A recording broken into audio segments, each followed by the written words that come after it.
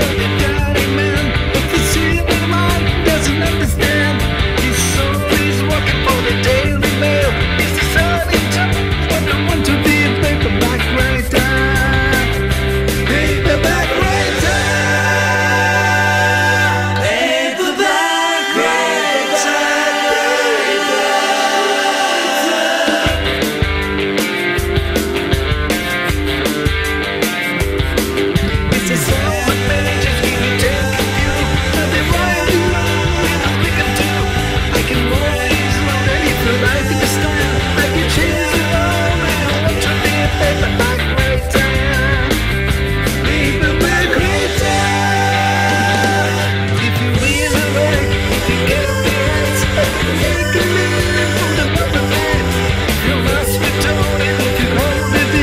But it means we didn't want to be a man.